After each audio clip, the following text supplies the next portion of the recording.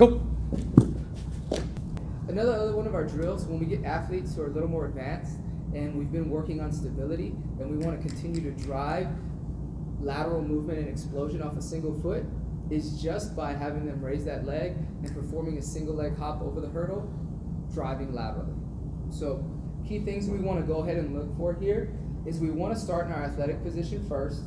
Remember knee height is relative to your position in space at that time. If I have my athlete try to stand straight up, lift the knee, and then hop from that side, this isn't something that's very similar to a motion that's practiced in her sport. When she explodes laterally, it's from her athletic position. If we teach athletes to get up and then out, then that's not closing space to the ball with every movement that we're creating. Every movement has to close space to the ball. Anything that's not doing that is making you slow. So, what we're looking for, athletic stance, she's gonna lift her knee, so once she lifts that knee, the knee that we're lifting is the one towards the direction we're going. We talked about earlier, you can go ahead and relax it, is that our opposite foot drives us in that direction.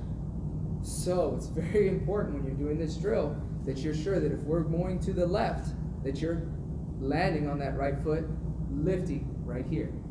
And flip, punch! Good. So remember, we're only, as soon as we land, we're driving out.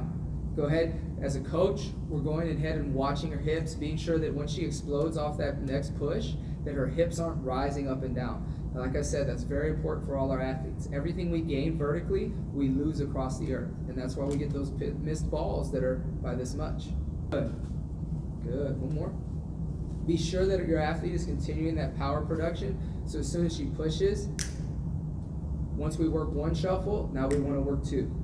So go ahead, shuffle twice. Be sure we're attacking the ground every time. And jump. Oh, damn. Good, good, good. Now, once that's done, we feel like we're successfully getting the hip height we want, getting the drive we want. Now we want to add the ball to it. Good. Two more.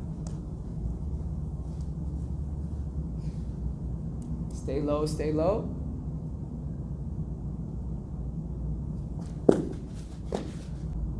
gốc